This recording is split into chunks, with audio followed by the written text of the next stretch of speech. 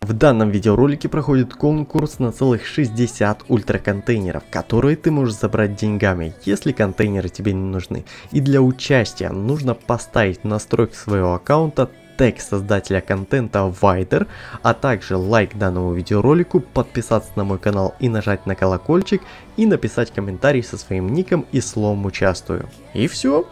Итоги будут проведены на моем стриме. Стримы, кстати, проходят каждый день в 18 по МСК. Подробная информация про конкурс в описании. Всем привет, дорогие друзья, с вами Вайдер, и сегодня мы с вами записываем ролик по танчикам онлайн, где будем тестировать все устройства на пушку Молот, дабы у нас эта пушка, ну, соответственно, в последнем обновлении на себя взяла прям, ну, какое-то колоссальное просто изменение. Ей пофиксили урон, плюс, плюс, соответственно, сделали супер быструю перезарядочку. Ну и теперь нужно записать, поглядеть, посмотреть, что же и как у нас обстоят эм, дела с этими самыми устройствами. Обязательно не забывайте ставить свои царские лайки. Естественно, по данной видеоролике пишите свои комментарии, на какую следующую пушку сделать, соответственно, обзор на все устройства. Это у меня флоу аккаунт, где у меня имеется все устройства на эту самую пушечку.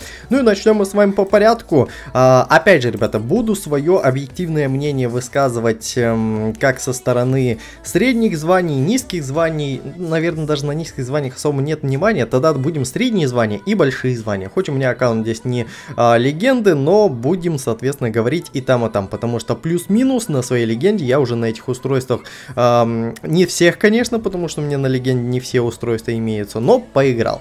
Поэтому начнем мы с вами с адаптивной перезарядки. Оно у нас делает, соответственно, мгновенное пополнение после того, как ты убиваешь своего противника. Посмотрим, насколько оно сейчас актуально в, ни... в нынешнем, соответственно, обновлении. По поводу этого устройства, наверное, не буду ходить вокруг да около. В принципе, скажу, что я думаю по поводу него, потому что я уже тестировал, соответственно, это устройство у нас и на легендах, пробовал, как оно у нас там играется, и, соответственно, смотрю здесь, как оно у нас играется. Как, в принципе, я и предполагал, а устройство показывает себя на данных диапазонах званий достаточно хорошо. Еще одна такая небольшая ремарочка, я буду с молотом играть исключительно только с кризисом, потому что после недавнего обновления пушка у нас имеет такое свойство, дабы, ну, особо не ваншотать, чтобы как-то где-то хоть-то более-менее что-то у нас такое получить, на высоких диапазонах на легендах играют либо с кризисом, либо, соответственно, с каким-нибудь бустером, с другими дронами, ну, по крайней мере, опять же, лично мое мнение, э, одевать нынешнего молота нет никакого смысла, потому что, опять же, хоть э, перезарядочка у нас стала такая приятная, но урон уже,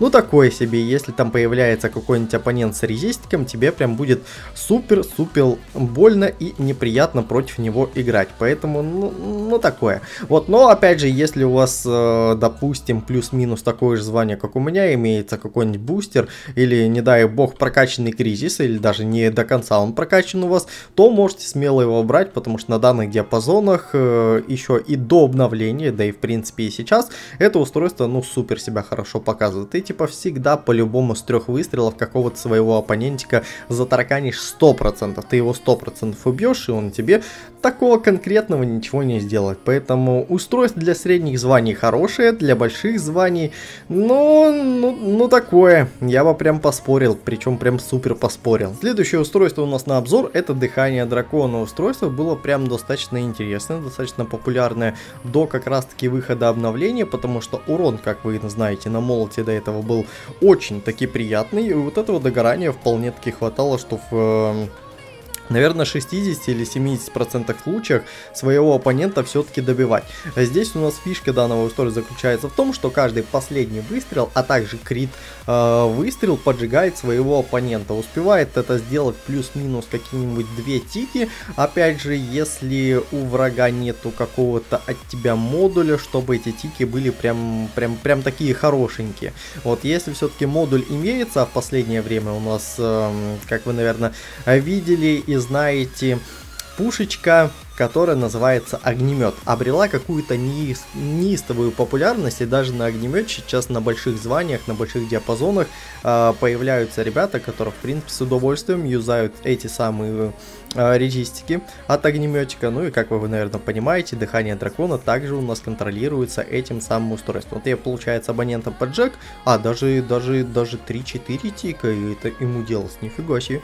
Приятный, приятный такой бонус, прям, прям, прям хорошо себя проявляет. Опять же, я так думаю, что не, оно однозначно, я не могу сказать по поводу этого устройства, что оно какое-то плохое, какое-то не такое. Оно, естественно, имеет место быть. Я, скорее всего, даже его поставлю наравне с какими-то устройствами по типу, по типу отключения припасов, там, на пробитие, на там оглушение, что-нибудь такое. Очень такое интересное, да, это, это, это прям устройство имеет место быть, потому что поджог, опять же, это не заморозка.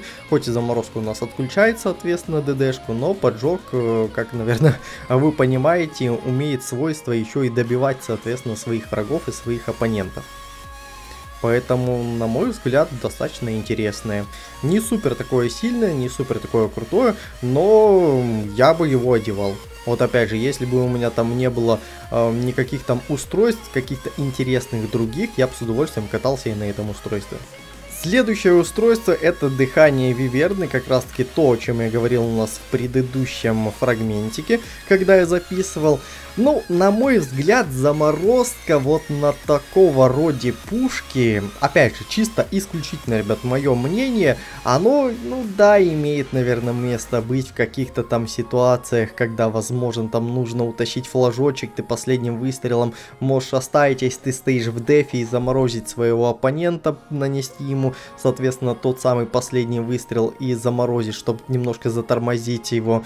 Но, блин, все равно, все равно не то пальто. Вот я, получается, зам заморозил одного вот этого человека, да, и что? Вот он стоит, соответственно, и в уст не дует. Просто у него также остается хп, ничего такого критичного с ним не происходит. Как-то воспользоваться этой ситуацией можно, опять же, в моем понимании, только если э, враг увозит какой-то флажочек, либо там его в какой-то момент объехать, где-то там застопиться и зайти сзади. Но, но, но, но типа такое себе, такое себе. Но опять же, на мой взгляд, дыхание вивер... Ой, дыхание дракона оно меня привлекает намного лучше. Если выбирать между этими двумя устройствами, я выбрал дыхание дракона, потому что ну, заморозка мне особо лично на молоте не нравится. Следующее устройство у нас на обзоре это магнитная картечь. Устройство интересное, возможно даже оно у меня стоит в каких-то топчиках, потому что ну, все пушки с этим устройством, которые обладают э, статусами отключения припасов, имеют достаточно такой, знаете, бесячий радиус. Вот, допустим, молодой человек у нас есть, я ему офнул припас, класса, и в принципе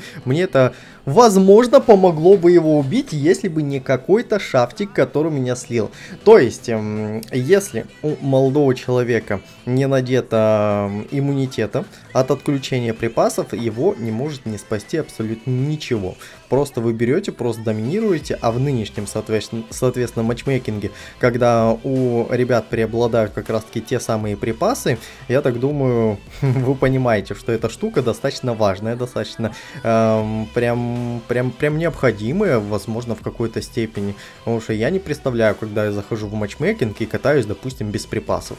И если тебе эти припасы отрубают, то это достаточно такая неприятная штука, и ты чувствуешь себя каким-то голожопиком, который ничего не может сделать, урон, соответственно, у тебя становится такой себе, плюс э, у тебя становится защита такая себе, скорость и так далее и тому подобное. Вот таким вот образом нехитро мы ему отключаем припасики и уже непосредственно а, потом, возможно, добили бы его, опять же, если бы не было резистиков. Но Несмотря на это, устройство мне однозначно нравится, входит, наверное, в топ-3, maybe даже устройств на эту самую пушку, потому что прям штука достаточно полезненькая. Если у вас имеется это устройство, вы думаете, допустим, между чем выбрать, я бы советовал вам как раз таки нацепить это самое устройство. Тем более, если раньше были проблемы с ним, э, когда у молота была такая, знаете, скучная достаточно перезарядочка, и тебе приходилось выстреливать последний раз выстрел, а я Напоминаю, что каждый крит и последний выстрел отключает припасы. Вот, и если раньше в последнем выстреле не было абсолютно никакого смысла, потому что когда ты у нас выстреливаешь, у тебя там нужно подождать времени, пока эта перезарядочка подойдет, э, пока это все пройдет. И, естественно, враг тебя успевал с легкостью добить, потому что ну, ничего ты у нас не, не мог делать ему, потому что ну пока эта перезарядка. С обновлением устройство, по-моему, стало еще более актуальным. Типа последний выстрел выстрел, зарядил, пока он на перезарядочке, у тебя быстро перезарядка пришла, и ты его уже успел затараканить, успел, соответственно, его убить. Максимально интересно, максимально полезное.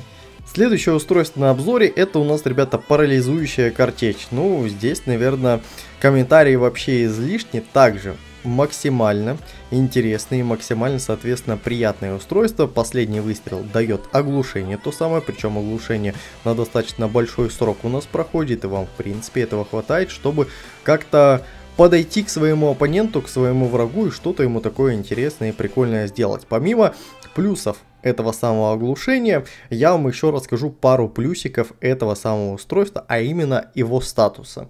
А, как вы, наверное, знаете, с этим статусом вы с легкостью можете остановить вот эту а, пушку, которая крутится под названием Вулкан. Вы смело его останавливаете. Также оно сбивает, соответственно, наводку у Страйкера. Также оно сбивает наводку у Скорпиона. Ну, как минимум, соответственно, три пушки вы у нас полностью оглушаете. Ну, еще оно умеет э, небольшие штучки делать с э, товарищем Шафтом. Также, если он стоит в прицеле, вы ему можете этот, соответственно, прицел сбить. И с фул тяжки он вас не ударит. Это получается у нас уже как минимум 4 пушки, которые у нас страдают от этого устройства, и именно от паралича. Вот, тоже максимально крутое, максимально полезное. И я не понимаю, почему некоторые ребята, опять же, к слову, к тому, что последнему обновлению, говорят, что обнова на молота, ну, такая себе, урон стал меньше и, и все. Но с уроном, соответственно, да, урон не такой уж приятный, возможно, для некоторых устройств это минус, но вот в моем понимании устройство, которое у нас э, нацелено как раз таки на последний выстрел, отключение, оглушение, как раз таки поджог, заморозка, это ну супер хорошие бафы, это прям я не знаю, апнули ее на даже не на 100%, а на какие-то 200%, потому что сейчас всяких статусов можно на этой пушке выдавать в разы больше, считай в два раза больше, плюсов ко всему ты у нас не такой беспомощный на большое количество времени остаешься. Поэтому устройство также меня прям радует. Э, скорее всего, оно у нас стоит на одной ступени с отключением припасов. Потому что полезности у него, как говорится, не отнимать. Если то у нас устройство нацелено на то, что убивать своего врага и оппонента, ты, грубо говоря, становишься, точнее не ты, а твой враг становится для тебя максимально легкой мишенью без припасов, то здесь же ты у нас, ну как минимум 4 пушки сможешь прям жестко дезморалить, плюс э, какие-то, какое-то время ты сможешь себе выиграть, когда у нас оппонент становится в параличе. Ну и на обзорчике у нас, ребята, бронебойный залп на того же самого молота. Устройство также здесь дает понять, что оно в принципе сильное. Опять же, критическое попадание и последний выстрел дают стопроцентное, соответственно, пробитие твоему оппоненту. В нынешних, скорее всего, реалиях устройство даже, возможно, в какой-то степени превосходит то самое отключение припасов и оглушение, о котором я у нас говорил ранее. Потому что молот, опять же, лично мое мнение, его у нас апнули и апнули, причем жестко. И по резистам, точнее количеству резистов, которые одевают э, противники против тебя, э, можно и так понять, что оно сильное, оно прям успешное. И когда, когда от тебя одевается куча резистиков с этим устройством, в принципе, это прям вообще никакая не проблема. Ты просто берешь и просто, соответственно, выносишь своих чуваков и пофигу, что у них одето. То ли броненосец, то ли, соответственно, какой-то резист. Единственный неприятный момент заключается в том, что, скорее всего, на больших диапазонах, на больших званиях, э, ребята, у которых имеется устройство иммунитет от пробития, это самое пробитие оденут от тебя 100% и будут защищены. Э, но, опять же, если у тебя имеется какое-нибудь отключение припасов, сможешь его смело одевать, и тут они уже становятся бесполезными. Как говорится, потому что ты их будешь ваншотать на все 100%. Следующее устройство у нас на обзоре это подавляющая смесь. И это устройство, по моему, опять же, мнению, находится в топе 1 по самым, соответственно, бесячим устройствам, которым можно только себе представить.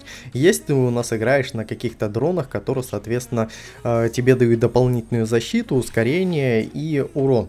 У нас страдают эти самые дрончики бустер, лавкач, защитник, плюс, соответственно, у нас в небольшой степени страдает э, те же самые какой-нибудь спасатель, потому что также подавление накладывается, плюс очень сильно э, себя хреновенько чувствует товарищ кризис, потому что но ты с кризисом вроде как катаешься, вроде как постоянно можешь использовать одну защиту, какой-то один припас, но постоянно у тебя просто обычный выстрел, просто, соответственно, обычное ускорение, просто обычная двойная защита. Потому что это устройство тебя отключает его целиком и полностью. Опять же, спасти от него может только лишь защита от подавления. И если я вижу каких-то чуваков с вот этим самым устройством, боже мой, я лучше буду страдать от отключения припасов, от пробития, нежели от этого самого как раз таки подавления, потому что, ну, блин, я играю с кризисом, а мне кризиса этого постоянно отключает. И как по мне, это супер бесячая тема, и поэтому оно у меня находится в топе 1 устройств по бесячести. Прям, прям ну 100%, 200%. Следующее устройство, которое называется Slugger, это устройство дает тебе такую возможность, когда ты у нас находишься на достаточно далеком расстоянии от своего оппонента, с этим самым молотом, в принципе, убивать его и давать хороший дамаг. А, по моему мнению, устройство, возможно, имело какую-то свою актуальность до обновления, опять же, лично мое мнение, потому что урон был прикольный, и в принципе его можно было пользовать на каких-нибудь картах таких, э, на которых действительно далеко какое-то расстояние, но тебе хочется поиграть с этим самым молотом. Ну и ты не хочешь сильно прям жутко сливать свою УПшку, потому что подходить где-то кому-то подлетать, это дело такое. Никаких дополнительных статусов на этом устройстве у нас нету, только расстояние и не более. И опять же, в моем понимании, когда ему, э, я имею в виду молоту, это самый урон понерфили, причем понерфили в два раза. На мой взгляд, устройство на данный момент не самое лучшее, прям, прям ну вообще не самое лучшее.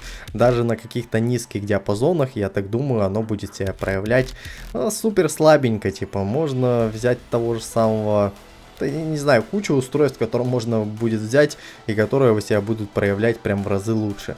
Вот, при том, что вроде как расстояние у тебя увеличивается, но оно увеличивается не на какие-то прям дикие масштабы. Допустим, нельзя сесть и через пол карты стрельнуть какого-то своего, опять же, оппонента или врага тебе все равно в любом случае придется подъезжать максимально, ну не максимально, но близко к своему врагу, и там уже что-то с ним делать, и что-то, соответственно, какие-то пульки ему выдавать. А, но но, опять же, устройство было популярны в те времена, когда молот немного по-другому, соответственно, играл. Когда, ну, чтобы выдать максимальный урон на этом молоте, нужно было попадать именно всеми дробинками, а не как сейчас, хотя бы одной попадаешь, ну и все, соответственно, у тебя в некоторых случаях урон проносится на фулочку. Не знаю, как это работает, но это работает, мы понимали, лично так. Сейчас же максимально бесполезным. Кучка, да, кучка выносится, кучка выносится, но также я могу и на обычном молоте попасть всего лишь одной дробинкой, и урон у меня будет максимальный. Поэтому на данный момент, лично, опять же, для меня это устройство, наверное, находится на самом последнем месте по актуальности, потому что, ну, никакущее. Мне особо, как говорится, не нравится, особо не заходит. Следующее устройство у нас на обзоре это устройство Blunderbuss, которое лично, опять же, по моему мнению, в последнем обновлении получило просто какую-то несказанную увеличение в плане вот как раз таки той самой пробивной мощи, можно даже так сказать. Но опять же, здесь небольшая такая ремарочка, некоторые из ребят мне дали понять, что оно у нас хорошо и стало в принципе хорошо только на определенных, соответственно, дронов. Дронов, которые дают дополнительный урон. Это у нас кризис и тот же самый пресловутый, я так думаю, бустер. Кемпер, скорее всего, нежели нет, чем да, в некоторых моментах, конечно, можно его использовать, но такое. Вот, мне обновленный Бландербас нравится, потому что я играю у нас эм, кризисом, вот поэтому здесь я никаких, соответственно, не знаю, супер неловких ситуаций не испытываю, всегда подъезжаешь, всегда, соответственно, выдаешь хороший урон, и, как по мне, последнее обновление с ним дало понять, что можно играть с бландербасом и можно играть достаточно хорошо. Но есть одно небольшое но у этого устройства.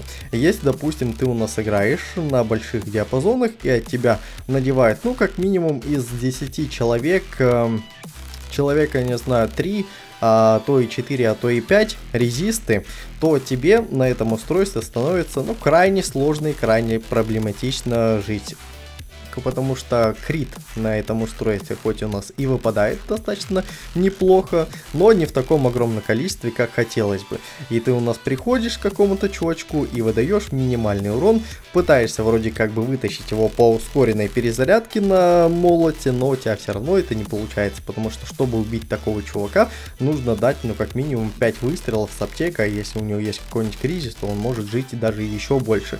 Плюс не забываем о том, что Данное, соответственно, устройство лично, опять же, в моих руках почему-то в некоторых ситуациях наносит по 4000 урона, а в некоторых ситуациях на том же самом расстоянии наносит по 300, а то и по соточке урона. Не знаю, от чего это у нас зависит, но вот такие вот штучки я у нас на этом устройстве заметил. Но, тем не менее, даже со всеми его минусами, если резистов не так много, устройство максимально хорошее, максимально прям прикольное мне нравится. Следующее устройство на обзоре это у нас дуплетик. Устройство прям на средних диапазонах стало каким-то супер мега имбом. Потому что, опять же, на средних диапазонах у нас э, молодых людей, катающихся с резистом, не так много. И ты у нас с каким-нибудь бустером, кризисом, да и даже с обычным просто дефолтным дроном можешь удавать несказанные и офигенные цифры. Даже если с первых двух тычек с одного выстрела, я считаю, ты его у нас не заваншотишь, э, перезарядка стала максимально хорошая, максимально идеальная.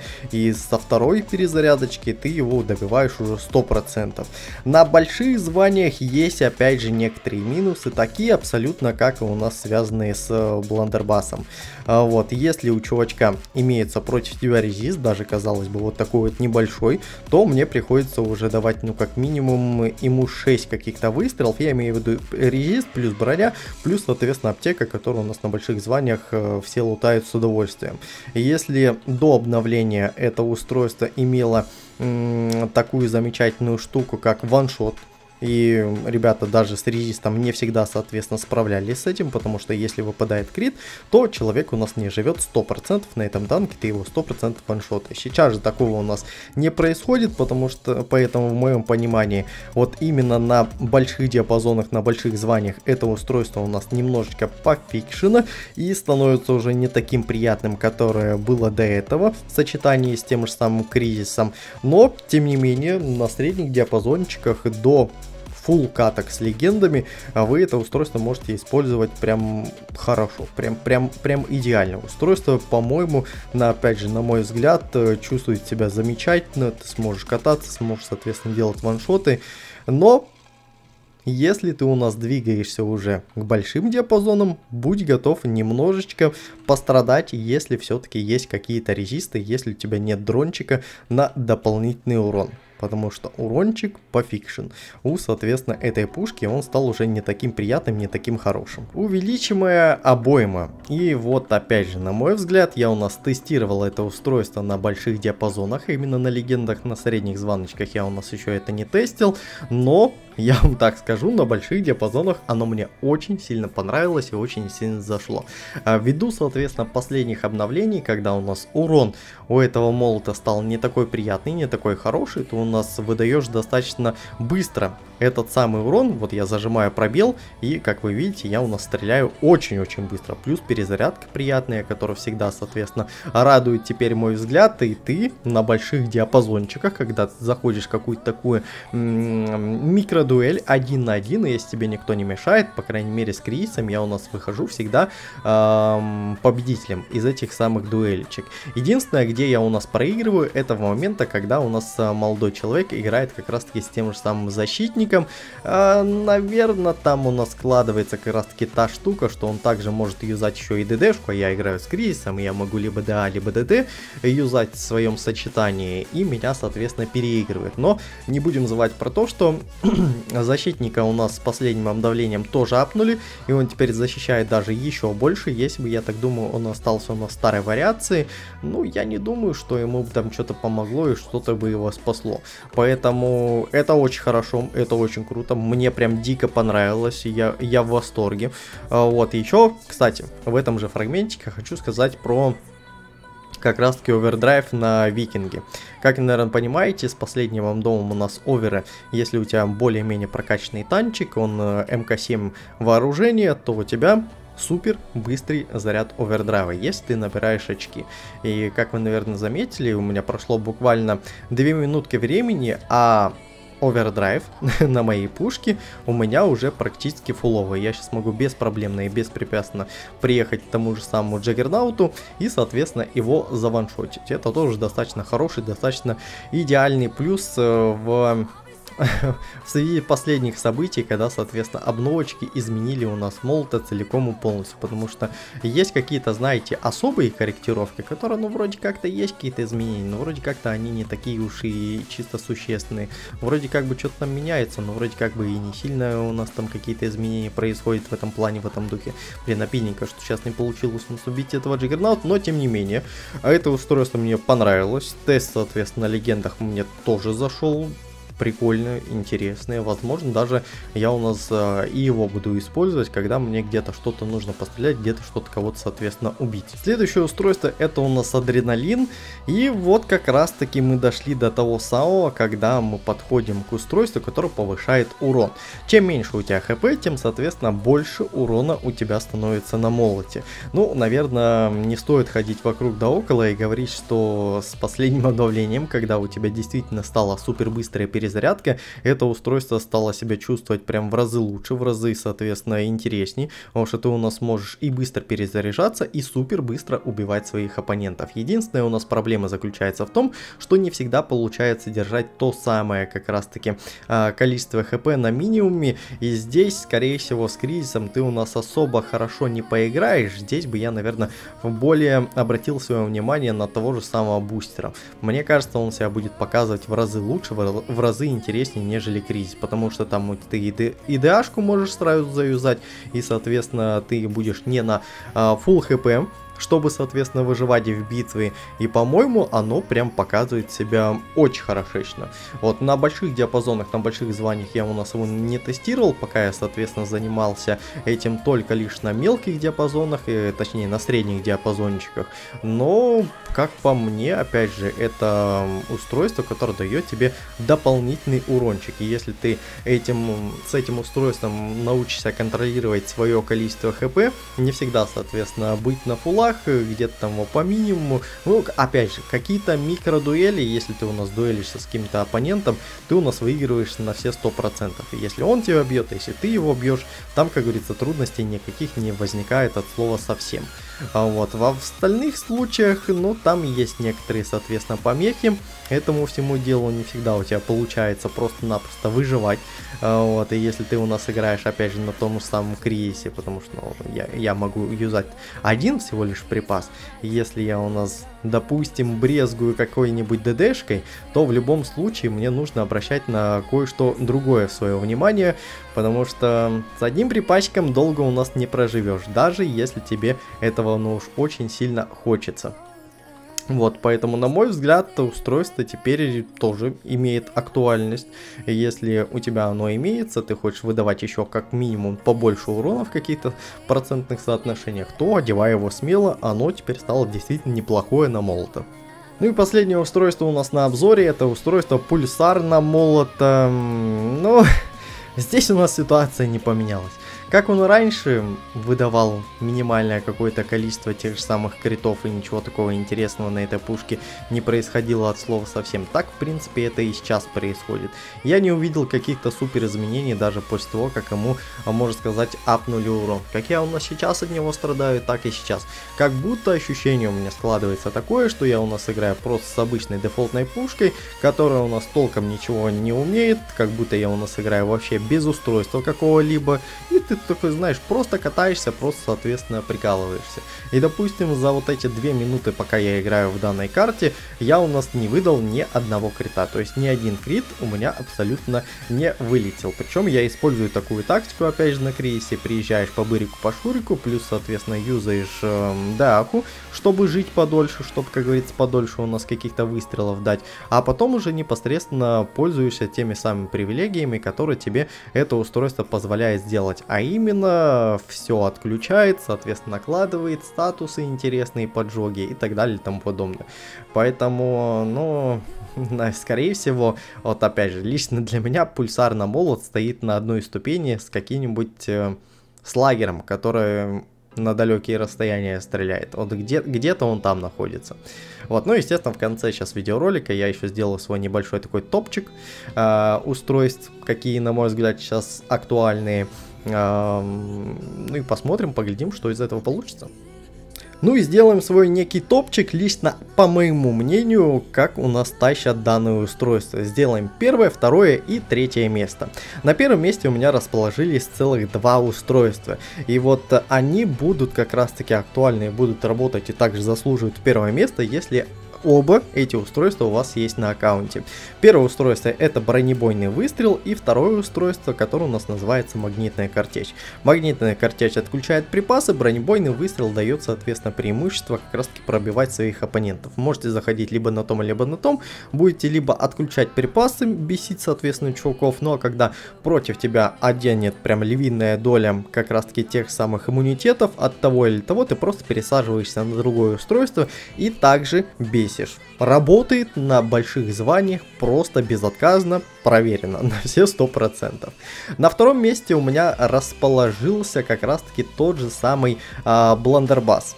Вот, почему не на первом месте? У него есть один существенный минус, и если против тебя э, будут чуваки с резистами, тебе уже не так, соответственно, приятненько становится играть. Можно, конечно, надеяться у нас на те же самые криты, которые достаточно неплохо вроде как работает, но, опять же, с резистом можно нацепить на себя и броненосец, который есть практически, скорее всего, у каждого второго танкиста после недавних танк-фондов, поэтому Бландербас, к сожалению, пока у нас находится на втором месте месте. И на третьем месте для себя я расположил как раз таки то самое устройство, которое называется обойма увеличен обойма увеличенной емкости. 5 выстрелов, опять же, тестировалось это все дело у нас на больших диапазонах, в принципе, мне понравилось. В каких таких моментиках даже чуваков, которые у нас имеют от тебя резист в 50%, ты у нас можешь перестреливать в общем-то и беспроблемно. Поэтому мне зашло, мне понравилось, прям прикольненькое такое. Ну и там уже дальше, я так думаю, никакого смысла нет располагать, поэтому додумывайте, что кому больше, соответственно, нравится. Вот такой вот ролик у нас получился, надеюсь, он вам понравился. Если так, обязательно ставьте ему свои царские лайки. Также не забывайте подписываться на мой канал, нажимать на колокольчик, чтобы ничего не пропустить. С вами был Вайдер, всем пока-пока.